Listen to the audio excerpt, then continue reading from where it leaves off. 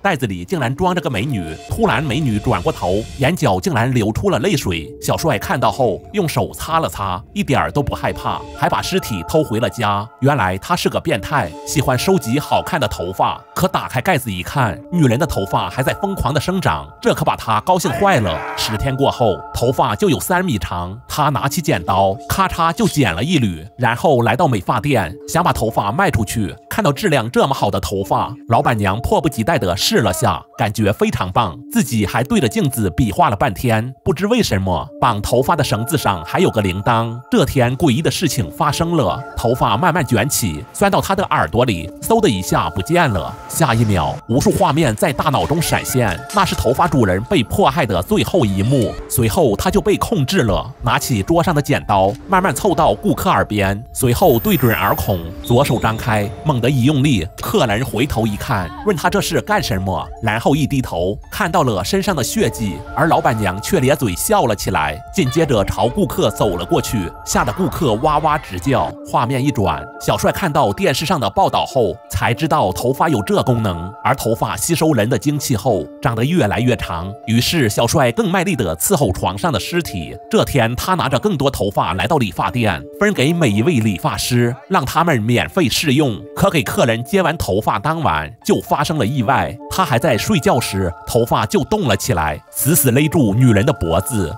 女人正在睡觉，头发竟然悬浮到空中，下一秒就缠住她的脖子，用力一勒，她顿时呼吸困难，本能的用力一抓，紧接着就坐了起来，心有余悸的看着手中的头发，以为刚才在做梦。随后来到厕所，看到镜中的自己，觉得有点不对劲，一点点向前凑，定睛望去，眼中竟然有根头发，她非常害怕，急忙伸出手，用力夹住，向外一拽，没想到头发越拽越长，倒了。好几次，竟然还没拽完，这可把他吓坏了。忍着心中的恐惧，又试了几次，头发终于全出来了。可抬手一看，头发居然钻到了手指里，跟睫毛一样。他伸出手指夹住头发，用力向外一拽，没想到头发有三米长。他顿时傻了眼，大叫一声，倒在了地上。随后心一横，攥住头发一用力，就拽了出来。他这才长舒一口气，这也太诡异了。突然，他张开嘴巴，没想到舌头上也是头发，吓得他眼睛睁得老大。克服心中的恐惧，伸手抓住头发，慢慢向外一拽。更诡异的还在后面，眼睛里竟然也有头发，而且还在不停的移动。半天过后，终于看见了发梢，随后就抽了出去，扔到地上，吓得他一声大叫，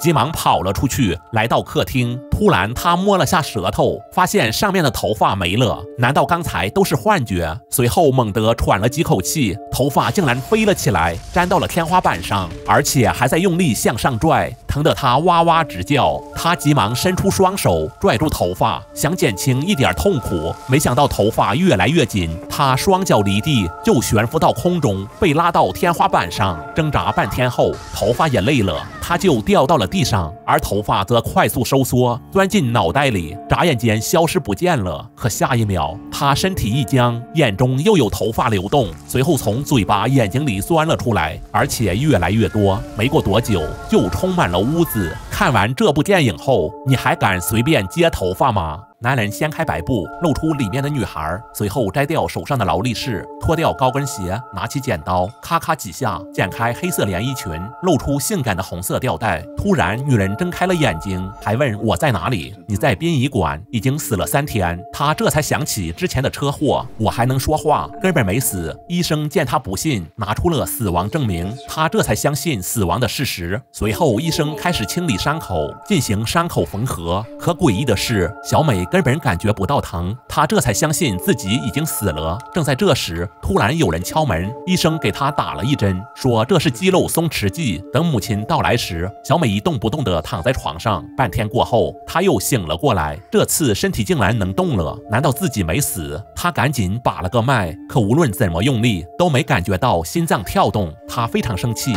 用力敲了下床，一下、两下、三下，根本感觉不到疼。他觉得自己肯定不正常。随后下了床，来到门前，大声呼救，可根本没人来救她。而这时，男友正在外面，想进去看小美最后一眼，却被医生拦住。只有亲人才能探望。小美听到争吵声，更加大声的呼救，然而声音根本传不出去，男友只能无奈的离开了。医生回来后，看到小美蜷缩在角落里，有点意外，不过也没放在心上。没想到小美偷偷拿了把剪刀，趁医生不注意，用力刺了下去。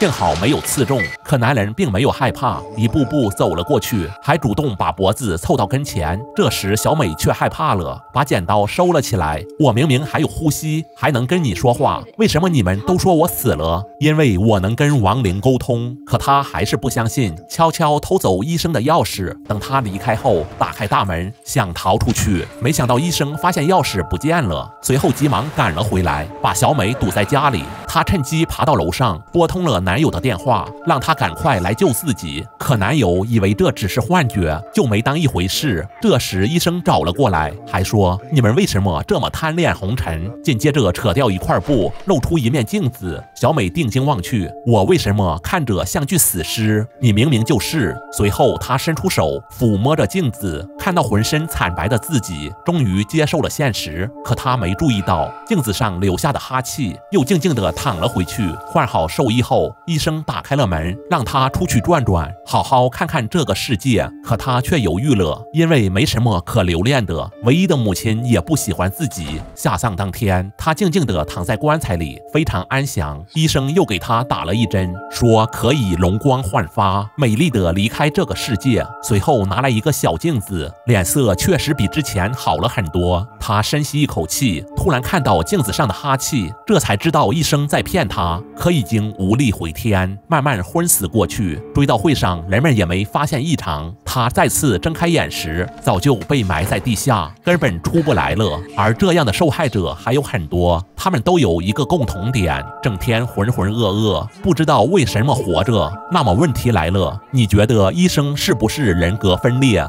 女人的手指被割破，随后头发就伸了进去，这可把她吓坏了，急忙抓着头发把她拽了出来。这还没完，吃饭时头发掉到盘子上，下一秒里面的番茄酱被吸得干干净净，她非常害怕，急忙把头发绑了起来。恰好今天大姨妈来了，突然小美瞪大双眼，只见头发快速生长，慢慢伸进裤子里，等头发吃饱后才一点点缩了回来。随后乱糟糟的头发不停的抖动，跟抽风一样。没过多久。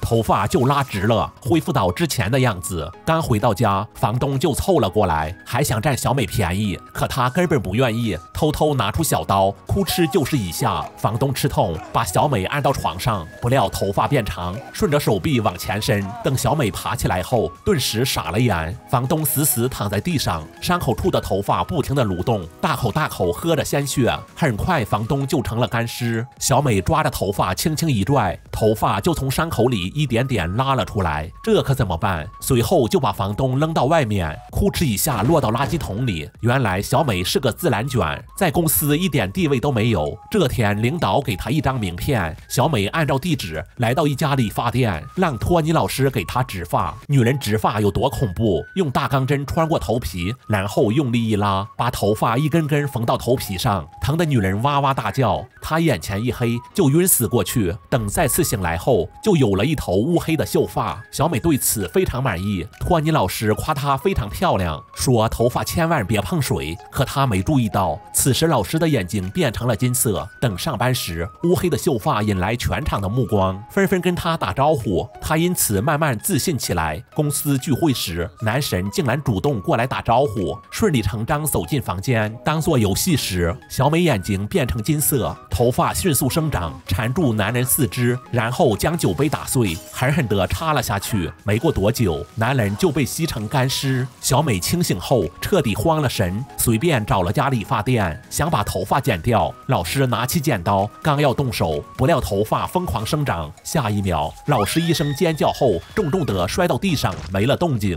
小美瞳孔变成了金色。女人看到这一幕，转身就跑，可没有头发速度快，被缠住脚脖子。她也领了盒饭，紧接着身体被头发覆盖。眨眼间血液就被吸干了。随着头发收缩，小美的意识才逐渐恢复，吓得她不停的大声吼叫，急忙回到公司，想问领导这是怎么回事。可刚进来就看到会议室里躺着一具尸体，而领导就坐在旁边。原来这是女巫的头发，曾经受到过诅咒，吸收足够血液后，她就能再次复活。领导拿起剪刀，刚要剪掉头发，手腕就被缠住了。女人刚要剪头发，不料手腕被缠住，剪刀飞走，随后勒住脖子，把他吊到空中，紧接着头一歪，就重重的落到地上，吓得小美转身就跑。穿过长长的走廊，突然一个同事走了过来，刚打了个招呼，她就被头发缠住，拽进屋里。只见地上的头发慢慢升起，越来越高，渐渐形成一个人的轮廓，头发自动分向两边。定睛一看，就是刚刚死去的领导，还扭了扭脖子，这可把小美吓坏了，急忙躲进会议室里。幸好领导在门前经过时，并没有发现她，可一回头，我了个乖乖，满地都是头发，随后一个个脑袋抬了起来。看到这一幕，小美急忙跑了出来，不料走着走着，身后又出现一只眼睛，她大叫一声后，转身就跑，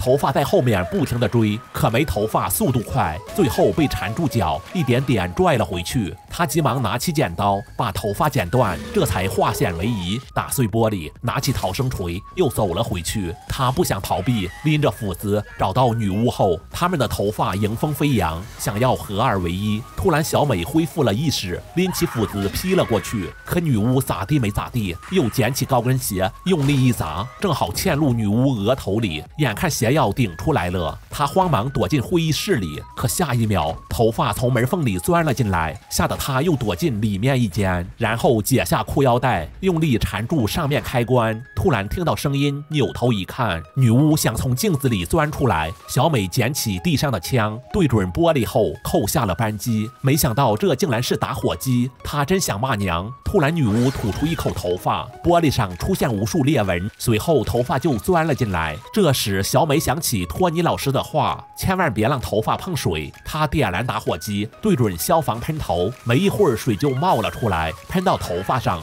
疼的小美和女巫哇哇大叫。她趁此机会拿起剪刀，将街上的头发全部剪了下来。等再次打开门时，墙上到处都是头发，而女巫则躺在地上，不停地抽搐，显然还没死掉。小美则逃了出去，过上了正常的生活。画面一转，一筐筐头发被装到卡车上，运往世界各地。不知道下一个受害者会是谁？毛毛电影带你走进电影人生。